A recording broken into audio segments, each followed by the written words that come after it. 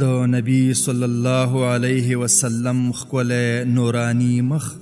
کعب بن مالک رضی الله عنه وای چې کله به رسول الله صلی الله علیه وسلم خوشاله وو نو مخ مبارک به زلیده داسې لکه چې د سپوږمۍ ټوکړه وي